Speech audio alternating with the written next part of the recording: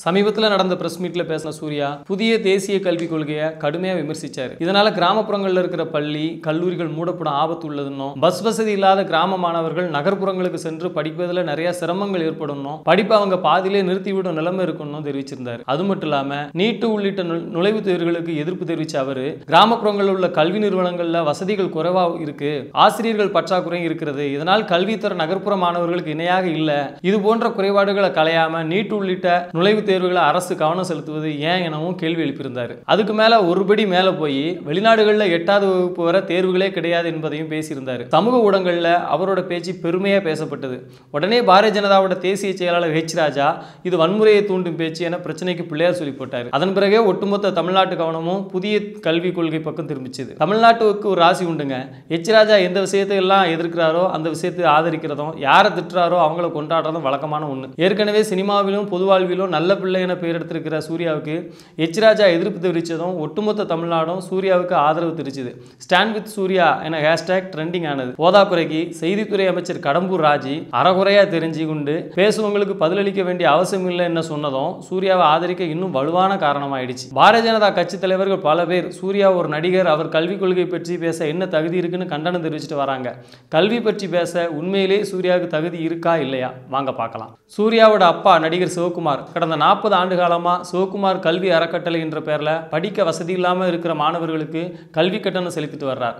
அதுபோல் தானும் செய்யணுன்ற எண்ணம் வந்தப்போ சூர்யா தான் அகரம் ஃபவுண்டேஷன் ரெண்டாயிரத்தி ஆறாம் ஆண்டு செப்டம்பர் இருபத்தஞ்சாம் தேதி சென்னையில் அகரம் ஃபவுண்டேஷன் துவங்கினார்.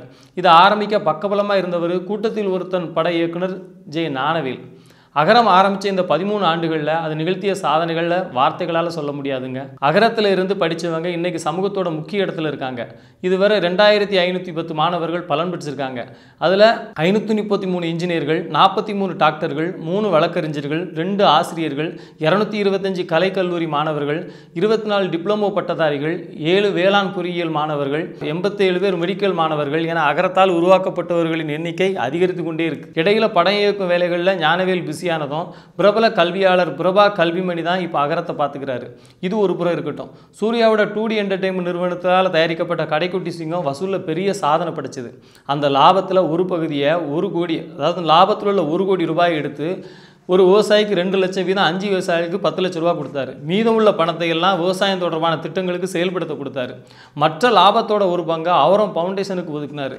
இதையெல்லாம் மேடையில் எல்லாருக்கும் தெரியும் வகையில் செஞ்சது தெரியாமல் செஞ்சதுன்னு பல கோடிகளை தாண்டுன்றாங்க அவரை தெரிஞ்சவங்க. அடிப்படை வசதி இல்லாத பள்ளிக்கூடங்களுக்கு உபகரணங்கள் வாங்கி கொடுப்பது நிதி வசதி இல்லாமல் தள்ளாடும் கல்வியை சார்ந்த நிறுவனங்களுக்கு நிதி அளிப்பது என ஒவ்வொரு ஆண்டும் பல லட்சக்கணக்கில் செலவு செய்து கொண்டிருக்கிறார் சூர்யா. இது ஆத்ம திருப்திக்காகவும் தன்னால் முடிந்ததை செய்ய வேண்டும் என்பதாகவும் செய்வதால் வெளியே அவர் சொல்வதில்லைங்கிறாங்க. அவரை நெருக்கமாக அறிஞ்சவங்களாம் இதை சொல்கிறாங்க எந்த வீட்டில் சூர்யா கார்த்திக் பிருந்தா மூணு பேரும் பிறந்தாங்களோ அதே டி நகர் வீட்டை இப்போது அகரம் ஃபவுண்டேஷனுக்கு எழுதி கொடுத்துருக்காரு சிவகுமார். ஏழை மாணவர்களின் கல்விக்காக அவர்கள் கொடுக்கும் முக்கியத்துவம் இதிலிருந்து தெரிஞ்சு கொள்ளலாம் சூர்யா விமர்சிக்கவங்க அவங்க பங்குக்கு என்ன செஞ்சாங்கன்னு இப்போ மக்கள் கேள்வி கேட்கறது ட்ரெண்டிங் ஆயிருக்கு. அரசியலாச துணியும் இல்லாதவர் சூர்யா. இப்போ நடக்கிற சூழ்நிலையை பார்த்தா சூர்யாவை பாரதிய ஜனதா கட்சி அரசியலுக்கு தள்ளிவிடும் போல. ஒருவேளை அவர் அரசியலுக்கு வந்தால் நிச்சயம் பெரிய அளவில் மக்கள் ஆதரவு கிடைக்கும். ஏன்னா தமிழ்நாட்டில் பாரதிய ஜனதா கட்சியோட வரலாறு அப்படி.